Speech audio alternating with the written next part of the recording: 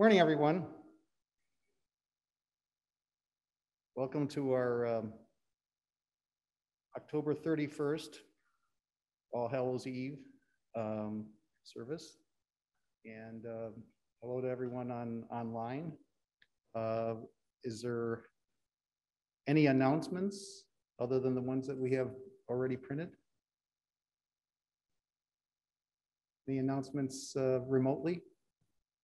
No? Okay. Okay, that being said. Oh, yes, Janet.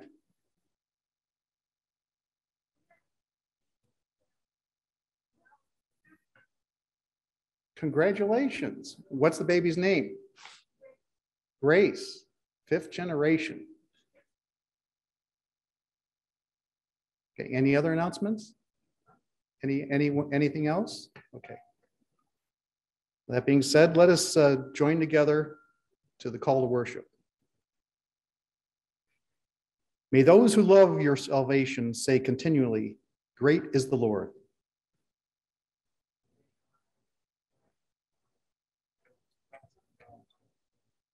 Let us make a joyful noise to go with the songs of praise.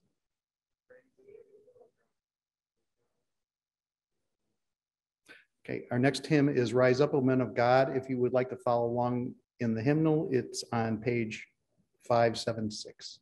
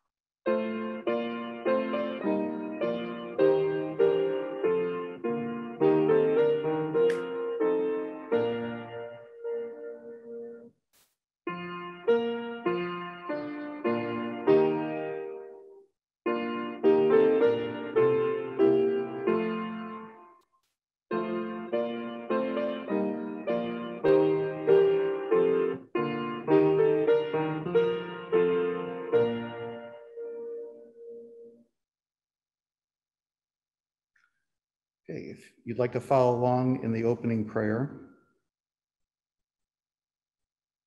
O mysterious God, who hides in the shadows of our steps, who surprises in ways inexplicable, who lingers in paradox, ignite our spirits to reveal in your presence, inspire our souls to dance in your mystery, free our minds to rest in your holiness, be comforted, totally quiet completely yours.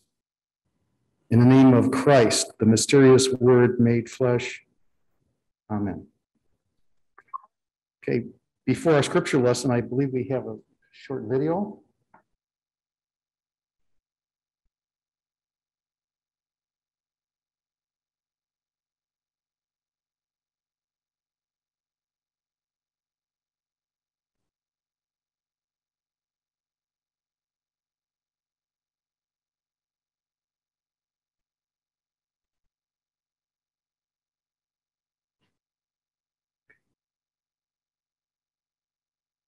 I'm sure it'll be coming shortly.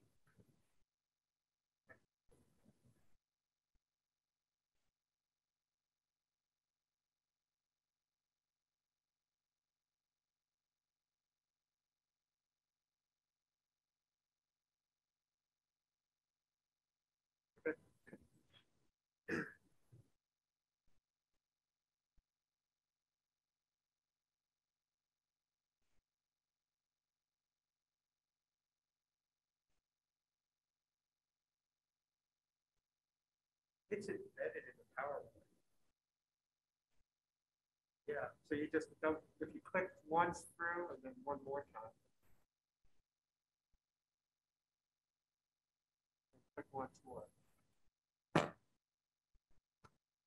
It's a question of whether we have audio. We have audio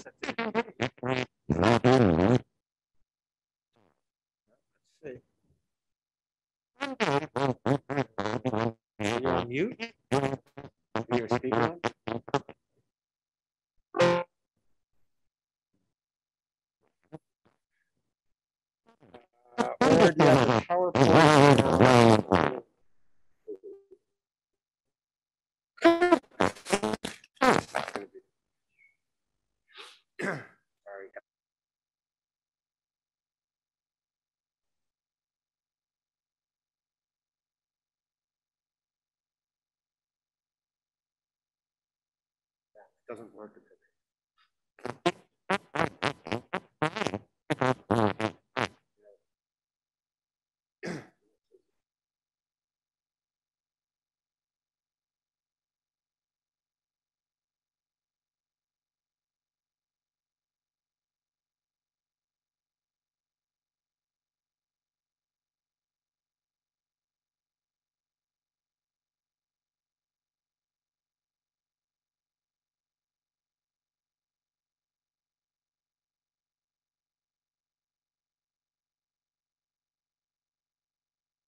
12th chapter of Mark, verses 28 through 34. One of the legal experts heard their dispute and saw how well Jesus answered them. He came over and asked him, What commandment is the most important of all? Jesus replied, The most important one is Israel. Listen, our God is the one Lord, and you must love the Lord your God with all your heart, with all your being, with all your mind, and with all your strength. The second is this that you love your neighbor as yourself. No commandment is greater than these. The legal expert said to him, Well said, teacher. You have truthfully said that God is the one and there is no other besides him. And to love God with all the, of the heart, all a full understanding and all of one's strength, and to love one's neighbor as oneself is much more important than all kinds of entire, entirely burned offerings and sacrifices. When Jesus saw that he had answered with wisdom, he said to him, You aren't far from God's kingdom. After all, no one dared to ask him any more questions. The word of God for the people of God.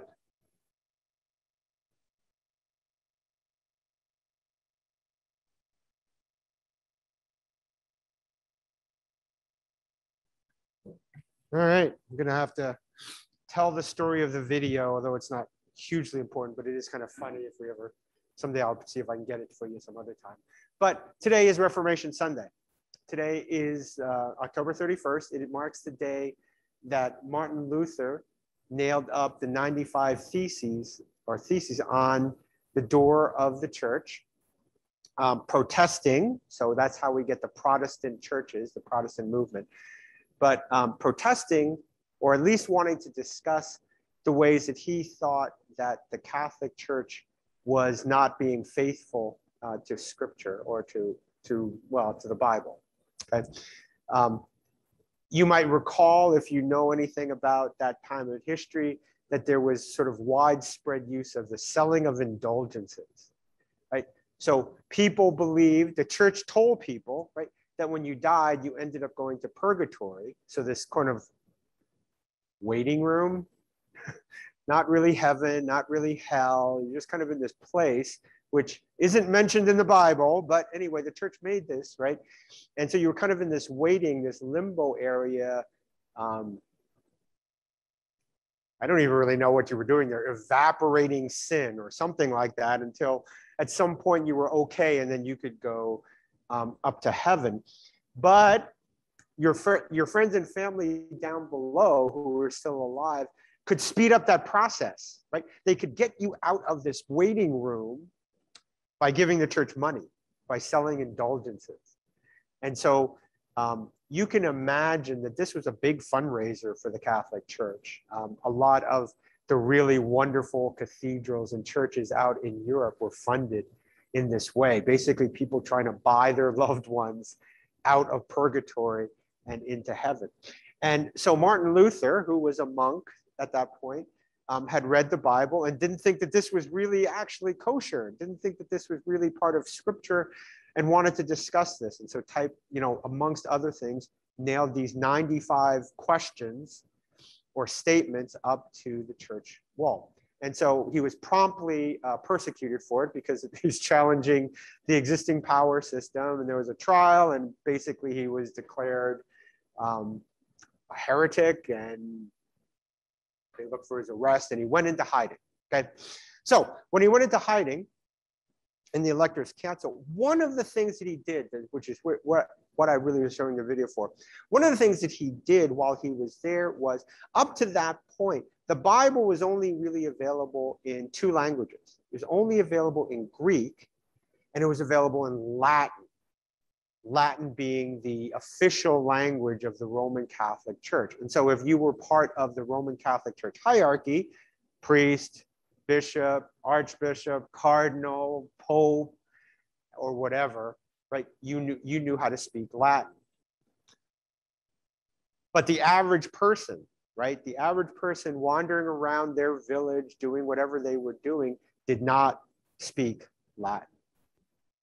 And so it was up to the priest, it was up to the priest, it was up to the Catholic Church to tell everybody what the Bible said because they couldn't read it for themselves. And so, purgatory, indulgences, um, the structure of the Roman Catholic Church, all these things. At that point in history, the Roman Catholic Church and the Pope wielded more political power and more material wealth than some nations at that time, many nations at that time. So Martin Luther's in hiding, and one of the things that he does is he translates the Bible into German, into his native tongue. And so that act makes the Bible accessible to the common person to be able to read, right? But, and I guess I should say, and, and combined with an invention of that time, the printing press. The printing press makes it a makes it so that we can distribute the Bible in mass quantities. It doesn't have to be hand copied anymore. So now I can distribute it for everybody and I can read it. It's in your native tongue, right?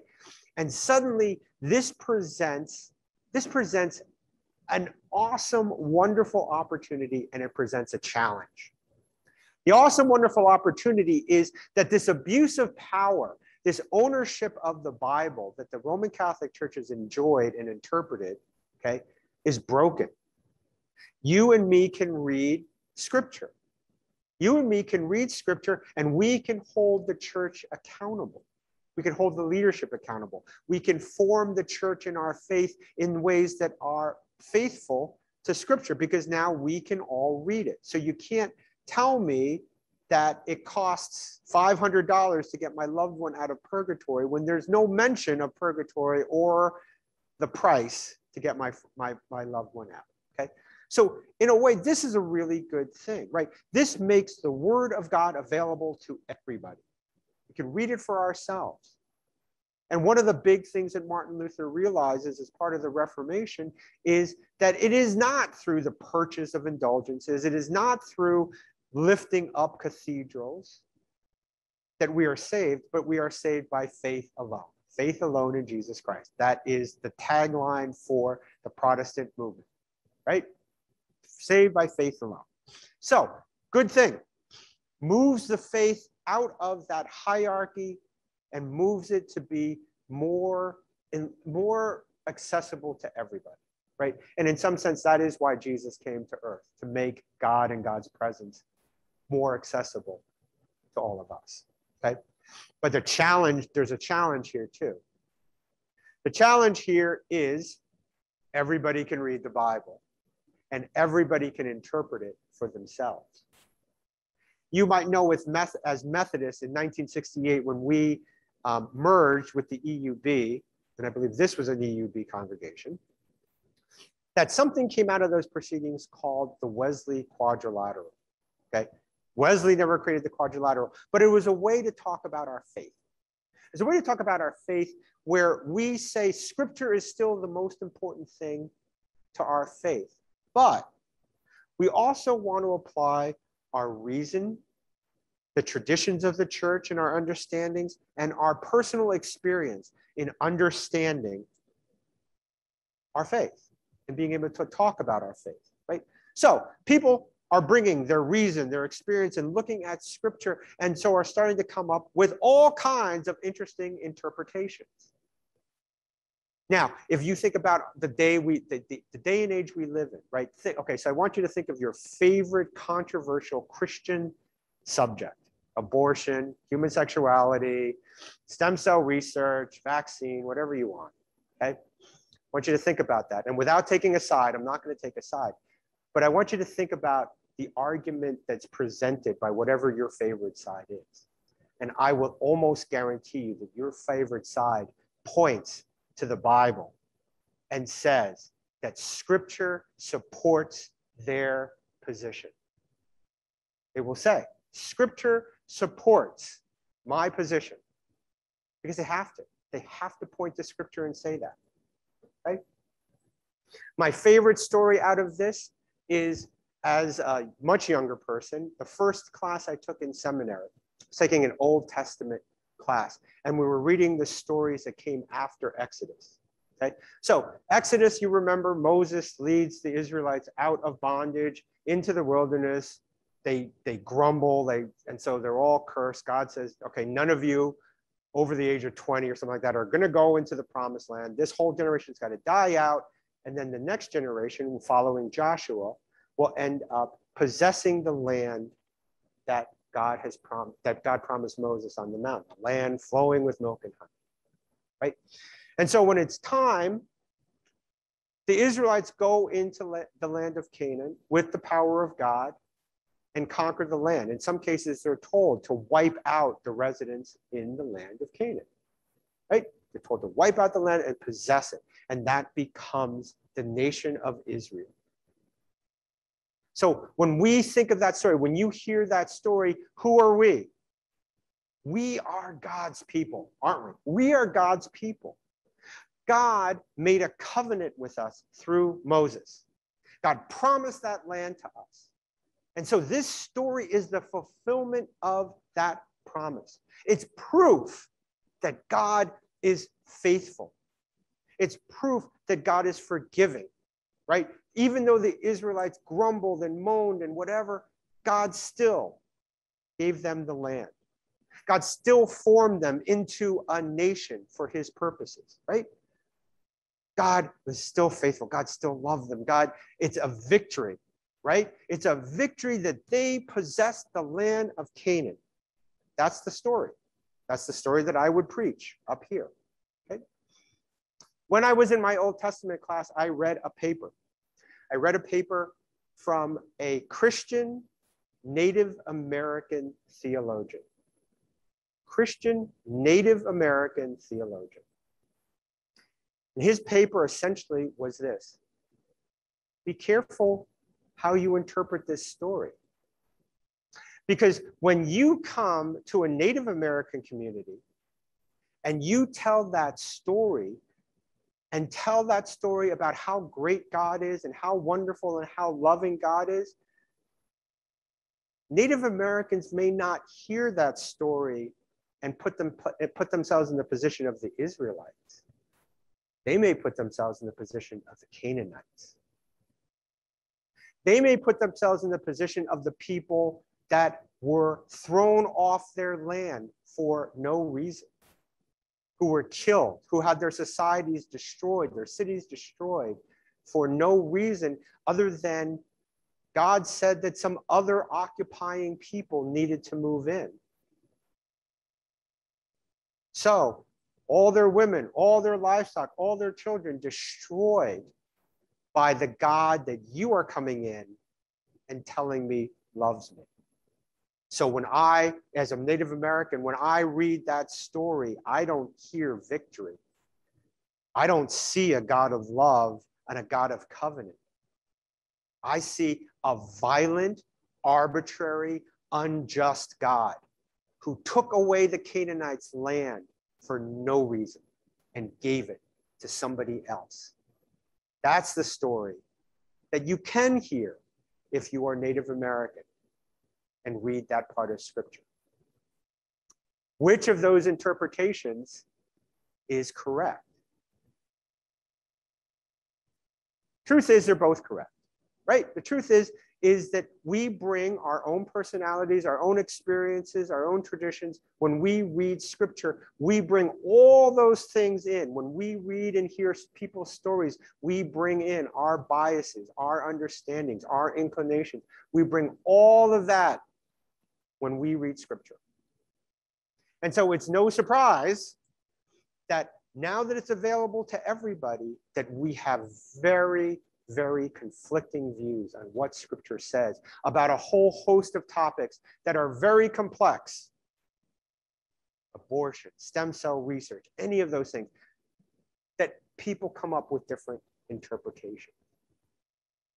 Ten Commandments, thou shalt not kill.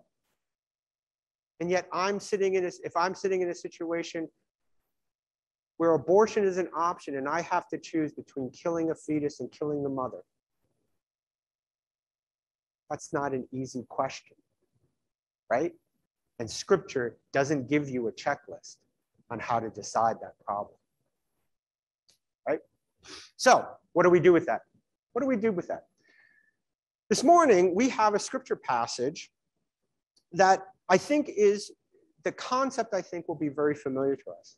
That out of the 621 laws or whatever I've, whatever the number is in Old Testament, there's this huge body of laws. God is, you know, the first five books of the Bible, God has given all these laws to the Israelites and said, this is how we're going to set you apart. This is how you're going to become a distinct people, right? 651 laws, right?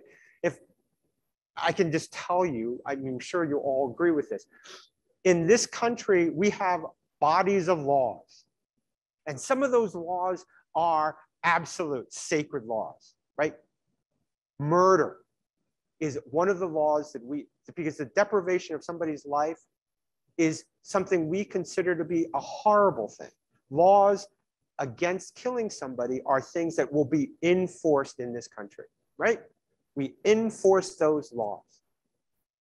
Meanwhile, when I came down Route 90 this morning to the area, and the speed limit said 70 miles per hour, I can tell you that there were a lot of people that were not obeying the law, even at 70 miles an hour.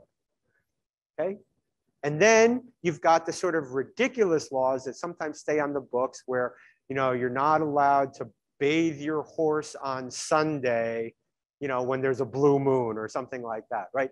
So there really actually, if you think about it, there ends up being a hierarchy of laws for us in our country, right? There are some laws that we are absolutely going to enforce. And there are some laws that uh, will enforce ish. And then there's a set of laws that we're not going to enforce at all. No, no police officer in the world is going to enforce this law, right? There's, there's a hierarchy, right? And there's especially the hierarchy if there are laws that self adherence is required. Okay, so we've got the 621 laws in the Old Testament. And this legal scholar comes up to Jesus and he, he virtually recognizes this. He says to Jesus, okay, so these 621 laws aren't all equal. Which one is the greatest? Which one is the greatest? Right? And you all know the answer. We've all gone through Sunday school right? Jesus says the greatest is, is this that you will love God with all your heart and all your, all your soul and all your mind. And you will love your neighbor as yourself. And I think this, so this, this part of the story, I think is just really funny. And so the legal expert hears Jesus's answer, and the legal expert, Mark read it, the legal expert goes, You're right. You got the right answer. And I just, in my mind, because this is just me reading it through my lens, I'm just like, Jesus is sitting there going like, do you know who I am? Do you know who I am? Right? I got the halo up. I got all that stuff, right? Yeah. But Jesus is very gracious, right? The legal expert says, You are right. And Jesus says, You are not far from the kingdom of heaven. This legal expert. So Jesus says, Yes, this is, so it's been affirmed, it's been answered, affirmed by the legal expert, affirmed again by Jesus, that this is the greatest commandment. Love God and love your neighbor, not or, okay? You can never have an interpretation of this commandment that puts love of God against love of neighbor. It can't be a choice of, well, the thing I'm doing shows that I love God, even though I am screwing over somebody, my neighbor. That's not right. It's an and, it's one commandment love God and love your neighbor. So, first off, any interpretation that puts those two things against one another is suspect. It's absolutely suspect. Second, if this is the greatest commandment, then we, I'm going to propose something to you, is that then we can use this commandment as the lens by which we read the rest, all the rest of Scripture. There is no possibility of reading Scripture in any way that contradicts this commandment. If you, if you, or you read something, or you encounter somebody, or and they have a reading and interpretation of scripture that somehow does not love, respect, honor God, and love, honor, respect neighbor as self. If there is an interpretation of scripture like that, okay, Scripture cannot contradict itself, not in matters of salvation. It cannot contradict itself, nor will Scripture contradict who God is. Cannot happen. If there is an interpretation that contradicts who God is or contradicts other parts of Scripture in matters of salvation, not historical fact, matters of salvation, then the problem lies with the interpretation, not with God or Scripture. So, we have to use that when we are trying to understand Scripture. When we are reading the six passages that we talk about, that, that the church talks about, or parts of the church talk about prohibiting homosexuality. You have to read those passages through the lens of this commandment love God and love your neighbor as yourself. Will that give you a clear cut, no debate answer? Life's not okay uh, unless your life is a lot better than mine life isn't full of a lot of easy answers. There are a lot of moral ethical dilemmas that we face questions. Questions about life and death questions about right and wrong questions about what scripture means and how do we interpret them and how do we live them and anybody, and I'm going to say, I'm going to go out on a limb as a pastor, anybody who gives you an easy answer hasn't thought through the problem. That's my take on it. Because life isn't that easy. There are multiple valid interpretations and understandings from any piece of scripture. I believe that. I believe that they are valid. I believe that what you how the Holy Spirit moves you to understand and read a piece of scripture can be different for you and for you and for you. I believe that. I believe that that means that we can learn different things from pieces of scripture. I believe that scripture is alive through the Holy Spirit and helps grow us. But it's not a recipe book. It's not a cookbook. It's not a follow this and this happens and then do this and then that happens. It's a guide for living. It's a guide for being God's people. It's a guide for growing in the Spirit, growing in our salvation, growing in our sanctification and becoming more and more like God every day. That's what it is. It teaches us those things, and those things require struggle. And those things require debate and rational debate informed by the Holy Spirit. And so I think that for me, one of the guiding things has been to try and read scripture through this lens love God and love your neighbor as yourself. In the cases where there is doubt, and there are plenty of cases and interpretations where there is doubt, again, the Bible isn't a laundry list, right? But where there is doubt, we have to lean toward love God, love your neighbor. How does that get expressed? How does that help me understand what this scripture says? That's the lens.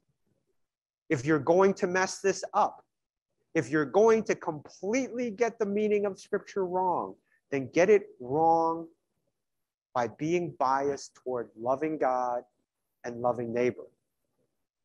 I am comfortable going before God and saying, okay, I messed up. But when I messed up, I leaned that direction. I didn't lean the direction of creating your church into a law following, legalistic church, a rules based church. If you want to know my image of God's people and God's church, it is not a rules based church, it is a grace based church. And we get to a grace based church by loving God and loving neighbor as self. So may it all be so. May it be so with all of us. May it be so with all of God's people. Amen. Our next hymn this morning is Oh, How He Loves You and Me from the In Faith We Sing hymnal number 2108.